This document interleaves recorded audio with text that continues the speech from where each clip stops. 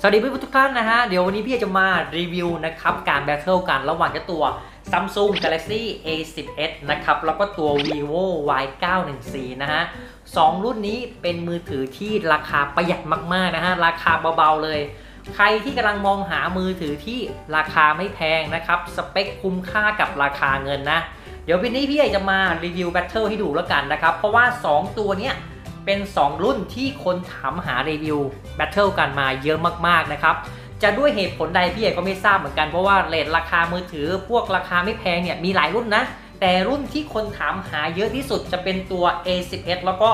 Y914 นี่แหละที่ถามหาแบทเทิลกันมาเยอะมากๆ และหลายคนนะครับตัดสินใจไม่ได้ว่าพี่ผมงบไม่เยอะนะ งบมีจำกัดนะครับ ควรจะซื้อตัวไหนดีระหว่าง 2 รุ่นนี้นะฮะตัดสินใจไม่ได้นะเอาไม่เป็นไรทีนี้นะ เดี๋ยวพี่จะมารีวิวให้ดูแล้วกันนะครับว่า 2 ตัวเนี้ยมันแตกต่างกันตรงไหน ตัวนี้ดีกว่ายังไง ตัวนี้ดีกว่ายังไงนะฮะ เดี๋ยวจะมาวิเคราะห์แยกแยะให้ดูแล้วกันนะครับว่าเราควรจะซื้อตัวไหนดี เรื่องของ CPU การ์ดจอแรมรอมเนี่ยเท่ากันนะครับ แต่ก็มีองค์ประกอบหลายอย่างนะ ที่มันทำให้มีความแตกต่างกันนะครับ เอาเป็นว่าถ้าใครยังไม่รู้จักเจ้า 2 ตัวนี้ดีพอนะครับ เดี๋ยวพี่จะพามารู้จักนะฮะ ไปลองเทสการถ่ายรูป ถ่ายวิดีโอ เล่นเกมมาเรียบร้อยแล้วนะฮะ เดี๋ยวเพื่อนๆมาชมกันว่าเราควรจะซื้อตัวไหนดีนะครับ ถ้าเพื่อนๆพร้อมแล้วก็ไปชมกันได้เลย เรื่องแรกนะฮะเดี๋ยวเรามาดูกันที่การดีไซน์ตัวเครื่องกันก่อนละกันนะครับเริ่มจากตัว A11 นี่ก่อนเลยนะครับ ด้านหลังเนี่ยจะมีลักษณะเป็นหลังเงานะครับ ต้องบอกว่าเงาวิ้งมากๆเลยนะ แล้วที่สำคัญเนี่ยมันจะมีลักษณะคล้ายๆกับกากเพชรนะฮะระยิบระยับเต็มด้านหลังไปหมดเลย ซึ่งมันก็ช่วยเพิ่มความหรูหราได้เยอะมากๆเลยนะอ่าสีที่เพื่อนๆเห็นตัวนี้จะเป็นสีเขียวนะครับ แต่พอดูผ่านกล้องเนี่ยอาจจะเป็นบลูๆหน่อยเนาะก็ไม่เป็นไรนะฮะสีจริงๆสีเขียวที่แบบว่าสวยมากๆเลยนะด้านหลังเนี่ยมีกล้องทั้งหมด 2 ตัวนะครับตามมาด้วยแฟลช LED แล้วก็จะเป็นตัวสแกนลายนิ้วมือนะครับประมาณนี้เนาะอะทีนี้มาดูกันที่ตัว Y91C กันบ้าง Y91C เนี่ยด้านหลังจะมีลักษณะเป็นหลังเงาเหมือนกันนะครับนี่เงาวิ้งเหมือนกันเลยนะ แต่ว่าจะไม่มีตัวกากเพชรนะฮะที่มันช่วยเพิ่มความหรูหรานะครับ แต่ว่าจะมีการไล่เฉดสีแทนนะครับ ด้านล่างสุดเนี่ยจะเป็นลักษณะสีเขียวออกบูบูนะครับ แล้วก็ค่อยๆ ไล่ขึ้นไปจนเป็นสีดำเนาะเนี่ยเห็นไหมนี่จะเป็นลักษณะ 2 สีแบบนี้ถามว่าตัวไหนมันสวยกว่ากันก็ต้องบอกว่ามันแล้วแต่คนชอบเนาะในเรื่องของการดีไซน์นะครับมาดูกันที่เรื่องของกล้องหลังดูสินี่กล้องนี่มี 1 ตัวนะครับแล้วก็ด้านล่างจะเป็นแฟลช LED นะครับการสแกนลายนิ้วมือนี่คือ vivo Y91C เนี่ยไม่สามารถสแกนลายนิ้วมือได้นะอะประมาณนี้เนาะในส่วนของการดีไซน์นะครับ ทีนี้เรามาดูกันที่พอร์ตแล้วก็ปุ่มต่างๆ กันบ้างอะเดี๋ยวพี่ใหญ่ประกบกันก่อนนะครับ เริ่มจากด้านล่างตัวเครื่องนี้แหละนี่นะฮะด้านล่างตัวเครื่องนะครับ ด้านบนสุดเนี่ยจะเป็นตัว Samsung Galaxy A10s นะฮะซ้ายสุดเลยจะเป็นลำโพงนะครับ ตามมาด้วยที่เสียบสายชาร์จ ตรงเนี้ยเป็นพอร์ตไมโคร USB นะครับ แล้วก็ตามมาด้วยไมค์แล้วก็จะเป็นช่องเสียบหูฟังขนาด 3.5 ส่วนตัว vivo Y91C เนี่ย ซ้ายสุดเลยนะครับจะเป็นช่องเสียบหูฟังขนาด 3.5 นะครับ ตามมาด้วยไมค์นะอ่าแล้วก็จะเป็นที่เสียบสายชาร์จ เป็นพอร์ตไมโคร USB เหมือนกันนะครับ แล้วก็จะเป็นลำโพงนะฮะ ประมาณนี้เนาะในส่วนของด้านล่าง มาดูด้านบนกันบ้างเนี่ยมาเช็คซิตัวไหนมีไมค์ตัดเสียงรบกวนนะครับ ด้านบนเนี่ยเราจะเห็นได้เลยว่านี่นะ ตัวนี้เป็นตัว Samsung Galaxy A10s นะครับ มีไมค์ตัดเสียงรบกวน ส่วนตัว vivo Y91C นี่คือโล่งนะครับ ไม่มีไมค์ตัดเสียงรบกวนนะ เพราะฉะนั้นแล้วเนี่ย การที่เราอัดวิดีโอเนี่ย ตัว A10s เนี่ย ต้องบอกว่าทำได้ดีกว่าแน่นอนนะครับ ในเรื่องของการตัดเสียงรบกวนเนี่ย ต่อมามาดูกันที่เรื่องของหน้าจอนะครับ ตัว A10s ก่อนเลยนะเจ้าตัว A10s เนี่ย ขนาดของหน้าจอนะครับ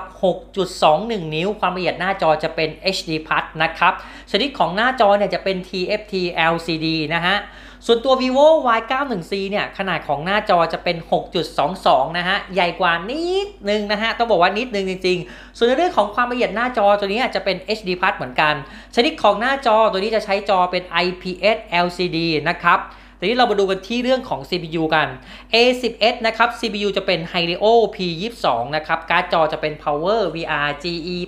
8320 RAM 2 ROM 32 นะครับ ถ้าใครอยากใส่ micro SD card เพิ่มเติมเนี่ยสามารถใส่ได้สูงสุดถึง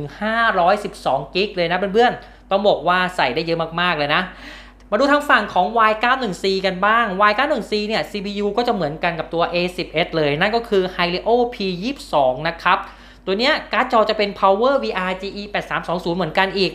RAM 2 ROM 32 นะครับ เพราะฉะนั้นแล้วเนี่ย เรื่องของ CPU การ์ดจอ RAM ROM นะฮะสตัวเนี้ยเหมือนกันเท่ากันหมดทุกอย่างเลย ส่วนเวอร์ชัน Android นะครับ A11 ตัวนี้มาพร้อมกับ Android Pie 9.0 นะครับ แล้วก็มีการครอบทับด้วย One UI เวอร์ชัน1.1 นะครับทางฝั่งของ Y91C เวอร์ชัน Android จะเป็น 8.1 Oreo นะครับ แล้วก็มีการครอบทับด้วย FunTouch OS 4.5 เพราะฉะนั้นแล้วเนี่ยเรื่องของเวอร์ชัน Android นะตัว A11 เนี่ยจะได้ใช้ตัวใหม่นะฮะอ่าจะเป็นเวอร์ชัน Android Pie 9.0 แล้ว ส่วนตัว Y91C เนี่ยยังคงเป็น Android 8.1 Oreo อยู่เลยโอเค มาดูกันที่เรื่องของกล้องหน้ากันบ้างนะฮะ A11 ตัวนี้กล้องหน้าความละเอียดอยู่ที่ 8 ล้านพิกเซลนะครับ ส่วนตัว vivo Y91C เนี่ยกล้องหน้าความละเอียดอยู่ที่ 5 ล้านพิกเซลนะฮะ เพราะฉะนั้นแล้วเนี่ยการเซลฟี่การถ่ายวิดีโอด้วยกล้องหน้านะ A11 เนี่ยค่อนข้างได้เปรียบนะฮะเพราะว่าความละเอียดของกล้องนั้นเยอะกว่า ที่สำคัญเนี่ยเราสามารถที่จะเซลฟี่มุมกว้างๆได้ด้วย ถ้าเราต้องการถ่ายคนเดียวนะฮะ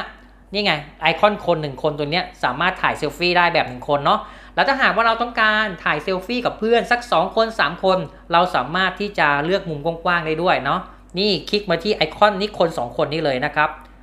อ่าเห็นไหม มุมมองมันก็จะได้กว้างมากยิ่งขึ้นนะครับส่วนตัว vivo Y91C นะฮะ มันไม่สามารถที่จะเลือกมุมกว้างๆได้เหมือนกับตัว Samsung Galaxy A11 นะ ส่วนกล้องหลังนะครับ A11 ตัวนี้มีกล้องมาให้ใช้งานทั้งหมด 2 ตัวนะครับ กล้องหลักเนี่ยความละเอียดอยู่ที่ 13 ล้านพิกเซลนะครับ ค่ารูรับแสง f 1.8 นะ ค่ารูรับแสงที่มันกว้างถึง f 1.8 เนี่ย การถ่ายรูปไปที่แสงน้อยนะ ต้องบอกว่าทำได้ดีมากๆเลยนะ ตัวที่2นะครับจะเป็นเลนส์วัดระยะนะครับตัวนี้ความละเอียดอยู่ที่ 2 ล้านพิกเซลนะครับก็เอาไว้ทำหน้าชัดหลังเบลอนั่นเองส่วน vivo Y91C นะครับกล้องหลังเนี่ยมีมาให้ 1 ตัวนะครับนั่นก็คือความละเอียด 13 ล้านพิกเซล การที่มีกล้องแค่ตัวเดียวนะครับถึงแม้ว่าความละเอียดจะเท่ากันกับตัว A11 ก็ตาม แต่ไม่สามารถถ่ายหน้าชัดหลังเบลอได้นะ เพราะว่าไม่มีกล้องวัดระยะนั่นเองนะครับ เพราะฉะนั้นแล้วเนี่ยถ้าใครเน้นในเรื่องของการถ่ายหน้าชัดหลังละลายนะ A11 เนี่ยสามารถตอบโจทย์เพื่อนๆได้นะครับ Y91C เนี่ยถ่ายได้แค่เป็นแบบปกตินะ ไม่สามารถถ่ายหน้าชัดหลังละลายได้นะครับ ส่วนในเรื่องของระบบ security นะครับเจ้าตัว A11 เนี่ยสามารถสแกนลายนิ้วมือได้นะครับ หรือว่าจะเป็นการปลดล็อกหน้าจอก็ได้นะครับ ตั้งรหัสพินก็ได้ตัว Y91C นะฮะไม่สามารถที่จะปลดล็อกด้วยลายนิ้วมือได้นะ จะต้องวาดรหัสผ่านเท่านั้นนะครับ มาดูกันที่เรื่องของแบตเตอรี่กันบ้าง ตัว A11 ตัวนี้มาพร้อมกับความจุแบตเตอรี่ 4,000 มิลลิแอมนะครับ Y91C เนี่ย 4,030 มิลลิแอมนะครับ Y91C ก็จะเยอะกว่านิดหน่อยนะครับ แต่ถ้าถามว่าการใช้งานจริงเนี่ย มันแตกต่างกันเยอะไหมแตกต่างกันที่ 30มิลลิแอมเนี่ยพี่จะบอกเลยว่าไม่ได้แตกต่างกันมากเลยนะฮะ ถ้าใครเล่นเกมดูหนังฟังเพลงเยอะกว่านะ แบตอันนั้นก็หมดเร็วกว่าแน่นอนอยู่แล้วนะฮะ เอาเป็นว่าเรื่องของแบตเนี่ย ไม่ได้แตกต่างกันเลยนะครับ 30มิลลิแอมเนี่ยบอกได้เลยว่าประมาณเดียวกัน มาดูเรื่องของรูปถ่ายแล้วก็การถ่ายวิดีโอกันบ้างนะฮะ ดูซิว่าตัวไหนมันทำได้ดีกว่ากันนะครับ ไปถ่ายด้านนอกเทสมาให้เรียบร้อยแล้วนะฮะ ไม่ว่าจะเป็นเรื่องกล้องเรื่องวิดีโอกล้องหน้ากล้องหลัง เดี๋ยวเรื่องแรกนะฮะพี่เอกขอเริ่มจากการถ่ายในที่แสงน้อยก่อนละกันนะฮะแน่เพื่อนๆเห็นไหมว่าเจ้าตัว A10s เนี่ยมันดีกว่าตรงไหน ดีกว่าตรงที่ว่า มันเห็นรายละเอียดของลายไม้เนี่ยค่อนข้างชัดเจนนะครับเพื่อนๆนี่เดี๋ยวพี่เอกซูมให้ดูเห็นไหมรายละเอียดของไม้เนี่ยคือเห็นลักษณะเป็นเส้นๆหมดเลยนะครับ ส่วนตัว vivo y91c นะองค์ประกอบอื่นๆนะฮะถือว่ามีความใกล้เคียงกันนะ แต่ถ้ามาซูมดูรายละเอียดจริงๆเนี่ยเราจะเห็นได้เลยว่าลายไม้เนี่ยมันไม่ได้มีความคมชัดเท่ากันกับตัว A11 เลย นี่ซูมขนาดมาให้เท่ากันแล้วเห็นไหมรายละเอียดของลายเส้นเนี่ยเห็นไหมอ่าตัว A11 เนี่ย สามารถทำได้ดีกว่านะครับ นั่นก็แสดงว่าการถ่ายในที่แสงน้อยเนี่ย A10s สามารถทำได้ดีกว่าตัว Y914 นั่นเอง ส่วนรูปนี้นะครับเป็นการถ่ายด้านนอกแล้วแต่ว่าถ่ายในร่มอ่า เรื่องของความคมชัดเนี่ยต้องบอกว่าอาจจะไม่ได้แตกต่างกันมากเนาะเพราะว่าเรื่องของกล้องเนี่ยก็เท่ากันที่ 13 ล้านพิกเซลนะครับสองรูปนี้ต่างกันในเรื่องของโทนสีนั่นเอง เพื่อนๆเห็นไหมว่าสีของย่าเนี่ยตัว A10s สามารถถ่ายทอดอารมณ์ของสีได้ค่อนข้างที่จะโอเคกว่านะคือสีจริงๆนะมันจะเป็นลักษณะสดๆแบบนี้แหละ นี่เดี๋ยวพี่ใหญ่ซูมให้ดูรายละเอียดของย่าเนาะอ่าส่วนตัว vivo y91c เนี่ยเป็นเพื่อน สีมันจะออกเป็นแนวจืดๆหน่อยนะฮะจืดๆหน่อย แต่ถ้าถามว่ามันชัดไหมมันก็ชัดเหมือนกันนะ ในเรื่องของความคมชัดเพียงแต่ว่ารายละเอียดของสีเนี่ยสีไหนที่เหมือนกับความเป็นจริงมากกว่านะครับก็ต้องบอกว่า A11 นะถ่ายทอดอารมณ์ของสีได้เหมือนจริงมากกว่านะครับ ส่วนรูปนี้นะครับเป็นการถ่ายกลางแจ้งนะฮะแดดเปี้ยงมากๆเลย โอ้โห ร้อนจริงๆนะฮะ A10s นะฮะสีสันความคมชัดของภาพเนี่ยต้องบอกว่าโอ้โหชัดมากๆนะครับส่วนตัว vivo y91c เนี่ยก็ชัดเหมือนกันแล้วก็ชัดมากๆเหมือนกัน รูปเนี้ยต้องบอกว่าเป็นรูปที่ถือว่ามีความใกล้เคียงกันมากๆนะเห็นไหมสีสันอะไรพวกนี้ความคมชัดถือว่ามีความใกล้เคียงกัน ถ้าจะให้ติกันนิดๆหน่อยๆนะฮะก็จะแตกต่างกันในเรื่องของโทนสีนะครับโทนสีของอสิ่งที่เป็นสีเขียวประมาณนี้เรียกว่าหญ้าไหมเนี่ยมันจะมีดอกไม้ด้วยนะครับคือตัว A10s เนี่ยสีสันค่อนข้างที่จะสด แล้วก็เป็นเขียวธรรมชาติมากกว่านิดนึงนะครับส่วนตัว vivo y91c เนี่ยอาจจะออกเหลืองหน่อยๆนะครับในส่วนนี้พี่ใหญ่ถือว่าไม่ได้เป็นข้อเสียที่มันแบบว่ารุนแรงอะไรมากมายนะครับโดยรวมนะรูปนี้ถือว่าประมาณเดียวกัน มาถึงรูปนี้กันบ้างนะฮะเป็นการถ่ายเครื่องเล่นเนาะ ต้องบอกว่าโอ้โหแสงไฟนี่คือมันเยอะมากๆเลยนะค่อนข้างที่จะแสบตามากๆเลย A11 นะครับอยู่ฝั่งซ้าย Y91C อยู่ฝั่งขวาเนาะดูด้วยตาเปล่าตอนนี้เราเริ่มเห็นความแตกต่างกันแล้วแหละนะสิ่งแรกเลยนะเนี่ยนะฮะตะแกรงตัวนี้สีเหลืองเนี่ย Y91C เนี่ยจะเริ่มมีความที่จะไม่ชัดแล้ว ส่วนตัว A11 เนี่ยยังถือว่าคมกริบอยู่เลย แต่ถ้าเกิดจะถามว่าตัวไหนที่มันคมกว่าจริงๆนะเพื่อนๆเห็นตัวนางฟ้านี่ไหมเนี่ยที่อยู่ด้านบนเนี่ยฮะ เดี๋ยวพี่จะซูมดูรายละเอียดให้ เราจะเห็นได้เลยว่ามันมีความแตกต่างกันนะครับปึ๊บนี่พอซูมดูรายละเอียดนะครับ เพื่อนๆเห็นไหมอะเดี๋ยวทำให้ตัวเท่ากันก่อน Y91C นะครับเจ้าตัวเนี้ยรายละเอียดของตัวนางฟ้านี่คือจะมืดไปเลยนะ แล้วก็จะเป็นเบอร์ๆนะครับ แสงสีฟ้าเนี่ยแสดงรายละเอียดได้ไม่ค่อยชัดเจนเท่าไหร่ละแต่ตัว A10s เนี่ยเห็นไหม ตัวนางฟ้าเนี่ยต้องถือว่าคมอยู่เลยอะ่ะเราเรื่องของสีสันพวกสีแสงสีฟ้าอะไรพวกเนี้ยแสดงรายละเอียดได้ค่อนข้างดีนะครับเรื่องของการถ่ายสู้แสงเกี่ยวกับพวกเครื่องเล่นนะครับถ่ายสู้หลอดไฟเนี่ย A10s ทำได้ดีกว่านะฮะ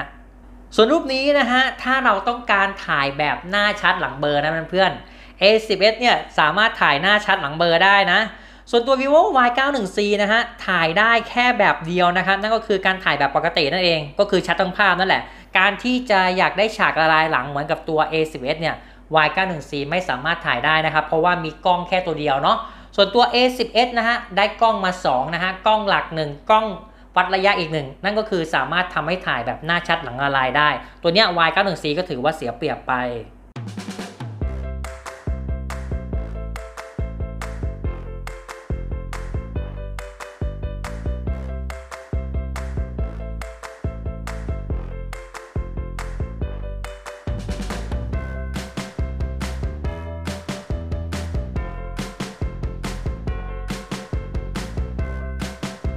มาดูกันที่เรื่องของการถ่ายวิดีโอกันบ้างนะฮะสองตัวนี้นะพี่ใหญ่ไปเทด้านนอกมาเนี่ยต้องบอกว่าเรื่องของสีสันเนี่ย A10s เนี่ยสมจริงมากกว่านะฮะส่วนตัว vivo Y91c เนี่ยเรื่องของความคมชัดเนี่ยถือว่าใกล้เคียงนะ แต่ว่าโทนสีอาจจะเป็นเพี้ยนๆหน่อยนะครับ ก็คือในเรื่องของส่วนที่เป็นสีเขียวนี่แหละ คือ Y91c เนี่ยจะติดเหลืองค่อนข้างเยอะนะฮะในส่วนที่เป็นสีเขียวเนาะ แล้วเรื่องของความคมชัดเนี่ยยังไงก็ A10x ก็ยังคมกว่าอยู่ดีนะครับ ด้วยความละเอียดของกล้องที่ 8 ล้านพิกเซล Y91C 5 ล้านพิกเซลนะครับ ส่วนเวลาที่เราเดินถ่ายเนี่ย ก็ถือว่าสั่นประมาณเดียวกันนะครับ เอาเป็นว่าเดี๋ยวมาชมกันได้เลยโอเค นี่คือวิดีโอกล้องหน้านะ ความละเอียดที่พี่ใหญ่ตั้งเอาไว้เนี่ยจะเป็นที่ 1080p นะครับ เรื่องของมุมมองเนี่ยตัว A10s จะกว้างกว่าหน่อยๆเนาะ ช่วงหัวไหล่เนี่ยเห็นได้เกือบครบนะครับตัวนี้ ส่วนตัว Y91C เนี่ยจะจะเกือบยังไงอะ คือมันจะแคบกว่าหน่อยๆนะครับ แคบกับตัว A10s อยู่นิดนึงนะฮะ เสียงไมค์เป็นไงบ้าง ตัว A10s นะครับ มีไมค์ตัดเสียงรบกวนนะครับ เพราะฉะนั้นช่วยได้เยอะเลยเวลาที่เราถ่ายวิดีโอเนาะ ส่วนตัว Y91C นะครับ ไม่มีไมค์ตัดเสียงรบกวนเนาะ ประมาณนี้นะฮะ เดี๋ยวลองเดินดูหน่อย เรื่องของการสั่นนี่น่าจะประมาณเดียวกันเนาะ อ่า แตกต่างกันในเรื่องของโทนสีแน่นอนแหละนะครับ แล้วก็เสียงลมน่าจะดังมากนะ เพราะว่าตอนนี้ลมแรงมากนะครับ แต่ว่าแดดนี่ก็จัดเหมือนกันอะโอเคนะฮะ เดินหน่อยเดินหน่อย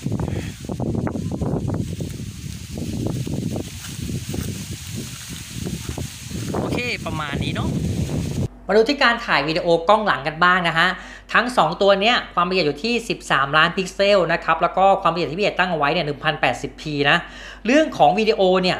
สีสันนะครับต้องบอกว่า A11 จะเป็นแนวสดๆ มากกว่านะครับ ส่วนตัว vivo Y91C เนี่ยโทนสีอาจจะเป็นจืดๆ หน่อยนะฮะ แต่ในเรื่องของความคมชัดเนี่ยต้องบอกว่าถือว่ามีความใกล้เคียงกันนะอ่าจะแตกต่างกันนะครับ พี่ใหญ่บอกเลยว่าจะเป็นในเรื่องของไมค์นะ เพราะว่าอย่างที่บอกไปตั้งแต่ตอนต้นคลิปนะครับว่า A11 เนี่ยมีไมค์ตัดเสียงรบกวน ตัว Y 91C เนี่ยไม่มีไมค์ตัดเสียงรบกวน เพราะฉะนั้นแล้วการถ่ายวิดีโอแล้วพูดไปด้วยเนี่ยคือเสียงมันค่อนข้างที่จะชัดต่างกันมากนะครับ A11 เนี่ยกินขาดในเรื่องของไมค์นะเวลาที่เราถ่ายวิดีโอเนี่ยส่วนตัว Y91C เนี่ยเสียงมันจะออกเบาๆนะฮะแล้วก็มีพวกเสียงซ้อนเข้ามาในวิดีโอค่อนข้างเยอะเอาเป็นว่าเดี๋ยวเราไปชมกันดีกว่าครับส่วนคลิปนี้นะฮะเป็นการเทสวิดีโอกล้องหลังเนาะอ่ามาดูนกกระจอกเทศกันนะครับ อันนี้เป็นการถ่ายในร่มเนาะเดี๋ยวเริ่มจากในร่มก่อนละกัน ลมก็ค่อนข้างที่จะแรงมากนะครับ เพื่อนๆปึ๊บปึ๊บแวะดูไก่หน่อย โอเค เดี๋ยวเราไปเดินออกด้านนอกกันนะฮะ เสียงลมค่อนข้างแรงนะ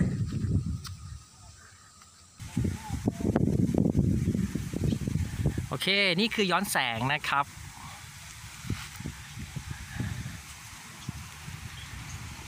ตัวนี้ความละเอียดที่ตั้งไว้นะครับ 1080p นะเพื่อนๆ Y91C นี้ไม่มีไมค์ตัดเสียงรบกวนนะครับ ส่วน A10S เนี่ยมีไมค์ตัดเสียงรบกวนนะ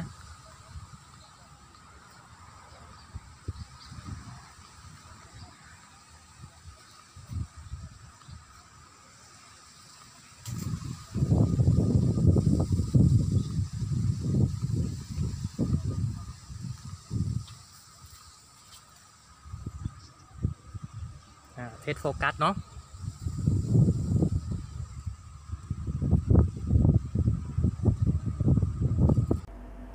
ส่วนการใช้งาน 2 หน้าจอนะครับ A11 เนี่ยสามารถตอบโจทย์ในส่วนนี้ได้นะครับ เดี๋ยวเราลองกันเลย อ่าโอเคนะฮะ เราเข้ามาที่ขีด 3 ขีดตัวนี้เนาะ แล้วก็เลื่อนมาที่ YouTube ตรงนี้นะครับ เปิดในมุมมองแยกหน้าจอนะฮะ เสร็จแล้วเราก็มาเลือกด้านล่างให้เลยว่าเราจะเอาอะไรสมมุติว่าพี่ใหญ่เอาเป็นตัว Pesto นี้ละกันนะครับ จิ้มไป 1 ครั้งเนาะอ่า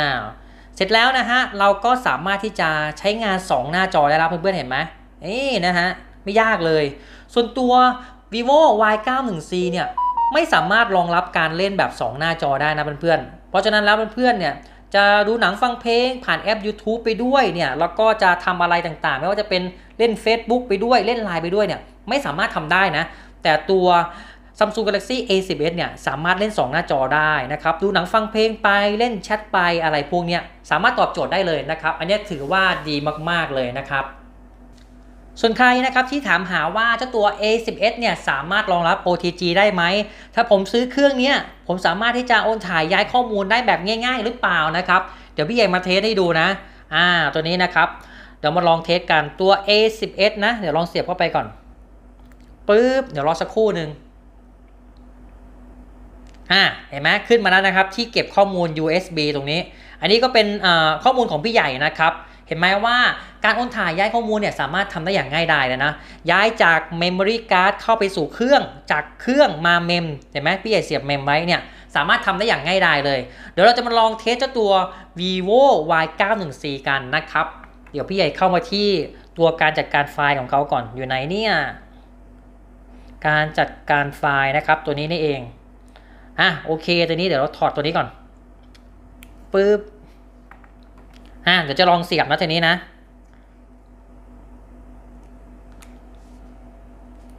ปึ๊บนะฮะเดี๋ยวรอสักครู่หนึ่งพื้นที่เก็บข้อมูลนิ่งเลยนะฮะตรงนี้นิ่งเลย ไม่มีอะไรขึ้นมาเลยนะครับ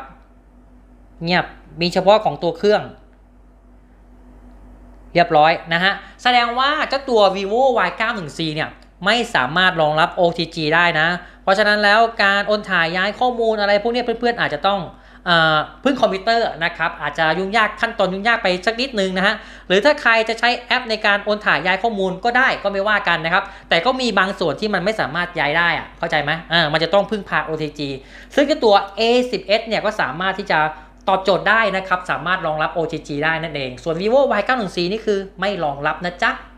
ส่วนการดูหนังฟังเพลงผ่านแอป YouTube นะครับ ทั้งตัว A11 แล้วก็ vivo Y914 เนี่ย สามารถดูที่ความละเอียดสูงสุด 720p นะฮะ เรื่องของสีสันเนี่ยต้องบอกว่าไม่ได้แตกต่างกันมากนะ ถือว่าใกล้เคียงกันนะครับ ไม่ว่าจะเป็นในเรื่องของโทนสีโทนแสงของวิดีโอก็ตาม เห็นไหมประมาณเดียวกันเลย เดี๋ยวเรามาลอง test เกมกันหน่อยละกันเนาะ ตัวนี้เป็น A10s นะฮะ ROV นะ เดี๋ยวมาที่การ setting กันก่อนเลย โหมด frame rate สูงตัวนี้ เดี๋ยวเราเป็นแบบเปิดละกันนะครับ ยืนยันไป เงาเมฆนะฮะ ตัวนี้เอาเป็นแบบเปิดเนาะภาพ HD นะครับ ตัวนี้เป็นสูงมากนะครับตัวนี้การแสดงผลสูงมากนะฮะ เดี๋ยวลองเปิดลองดูเนาะอะเดี๋ยวเรามาลองกัน ความไวมุมกล้องเอาเป็นแบบสูงแล้วกัน โอเคนะฮะ เราเปิดสุดเกือบหมดทุกอย่างเลย ดูซิว่ามันจะรอดไหมนะฮะ อะ5ต่อ5นะฮะ ตัวนี้เล่นเป็นแบบ frame rate สูงเนาะ 60 frame rate นะฮะ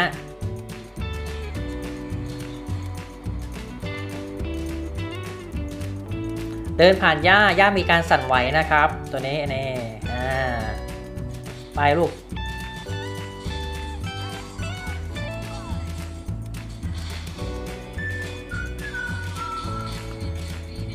เวลาที่เข้าตีแบบว่าลุยกันไปเนี่ย ตอนนี้ frame rate ตกอยู่ที่ประมาณ 38 40 อยู่ประมาณนี้นะครับ เอาเป็นว่าหมดเฟรมเรทสูงเนี่ยตัว A11 ตัวนี้สามารถเล่นได้นะเพื่อนๆ frame rate ก็อาจจะตกบ้างนะฮะมาที่ประมาณ 38 39 40 อยู่ประมาณนี้เนาะ อ่าอาจจะมีตกบ้าง ถ้าสมมติว่าอยากได้ลื่นๆกว่านี้อาจจะปรับเป็นกลางๆนะฮะ ถ้าเป็นกลางๆเนี่ยจะลื่นมากกว่านี้อีกนะฮะ ส่วนตัวนี้เป็นตัว vivo y91c นะฮะ เดี๋ยวเรามาดูกันที่การ setting กันก่อนเลย frame rate สูงนะครับ ตัวนี้เอาเป็นแบบเปิดนะครับเงาเมฆเป็นแบบเปิดนะครับ ภาพ HD ตัวนี้สูงมากเนาะ การแสดงผลเป็นแบบสูงมากเหมือนกัน ความไวมุมกล้องนะครับ อะโอเค เราตั้งค่าทุกอย่างเหมือนกับตัว Samsung Galaxy A10s ไปแล้ว เดี๋ยวมาลองกันเลยเดี๋ยวไปดูเวลาเข้าตีเนาะตัว A10s จะตกประมาณสัก 30กว่านะครับอ่าตอนนี้ Y91C ก็จะตกมาที่ประมาณ 30กว่าเหมือนกันนะเพื่อนๆประมาณเดียวกันเลยนะฮะพวกเฟรมเรทนี่ตกประมาณเดียวกัน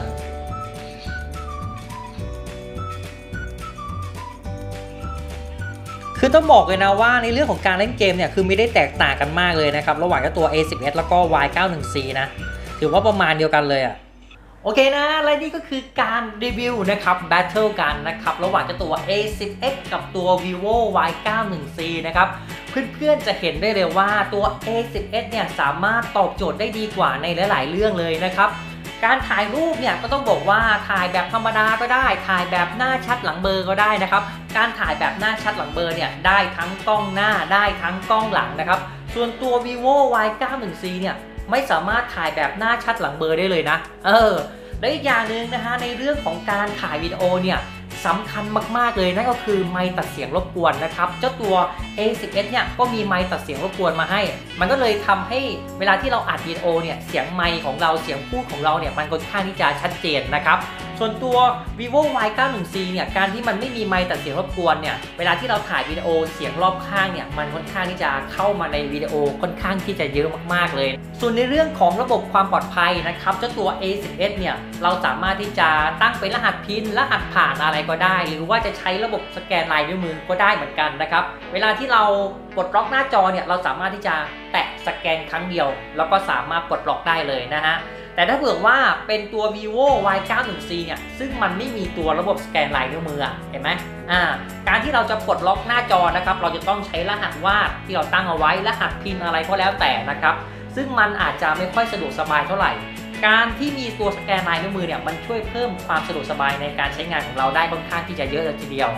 และอีกอย่างหนึ่งนะฮะที่คนตัดสินใจซื้อเจ้าตัว Samsung Galaxy ทุกรุ่นเลยนะครับ นั่นก็คือแอป Samsung Galaxy Gift ที่มันติดมากับตัว Samsung ทุกรุ่นเลย แอปตัวนี้สามารถใช้เป็นส่วนลดค่าอาหาร ค่ากาแฟ โรงแรมที่พักอะไรพวกนี้แล้วแต่ที่เขาจะออกโปรโมชั่นมานะครับ Samsung Galaxy Gift ตัวนี้สามารถตอบโจทย์ได้นะสำหรับคนที่ชอบซื้ออะไรผ่านแอปพวกนี้ต้องบอกว่าสิทธิพิเศษนี่คือเยอะจริงๆนะครับ ส่วนทาง vivo y91c เนี่ยต้องบอกว่าสิทธิพิเศษต่างๆ ที่มาพร้อมกับแอปเนี่ยคือไม่มีเลยนะเออ ราคานะครับมันอาจจะต่างกันนิดๆหน่อยๆนะเพื่อนๆแต่ถ้าถามว่าตัวไหนมันคุ้มมากกว่ากันนะครับไปได้สุดกว่ากัน ต้องบอกไว้นะว่า A10s ตัวเนี้ยสามารถตอบโจทย์เพื่อนๆได้เกือบจะครบหมดทุกอย่างเลยนะในเลทราคามือถือที่ไม่แพงอะ่ะเออแต่ว่าตัว A10s เนี่ยสามารถตอบโจทย์การใช้งานได้ทุกๆอย่างเลยนะครับ เอาเป็นว่าถ้าใครดูคลิปนี้จบนะ จะรู้เลยว่าเราควรจะซื้อตัวไหนดีนะครับ ราคาเนี่ยมันต่างกันนิดหน่อยนะครับ แต่ถ้าเกิดว่าอยากจบเลยซื้อครั้งเดียวแล้วจบในเลทราคาที่เรา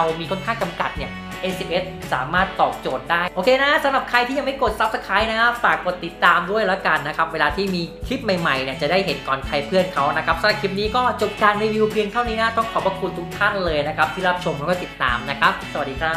บ